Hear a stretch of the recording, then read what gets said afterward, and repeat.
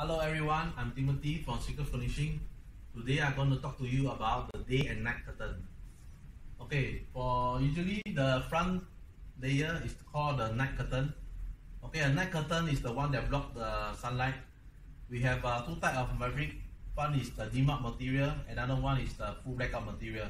The dim-out material will block 80 to 90% of the sunlight. Uh, and for the 100% blackout material, you can block 100% of the sunlight.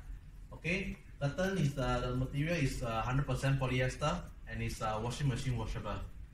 Okay, when you buy the night curtain from us, it consists of the track, the curtain track, the PVC hook, okay, and the wall hook for the belt. Okay, now I'm going to talk to you about the day curtain. Okay, usually the day curtain is the one behind the night curtain. Okay, okay, day curtain is for two functions. First, uh, it can give you the privacy of the house. Uh, second, it will give you a, a more aesthetic look. Uh. Okay, uh, it can act as a backdrop to the night curtain.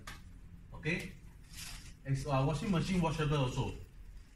Okay, we have different kind of fabric. We have more than 100 colors and choices for you to choose. So if you want to look at the colors, you can come down to our showroom. And uh, if you want to have a quick quotation for your house, you can click on the link below. Thank you.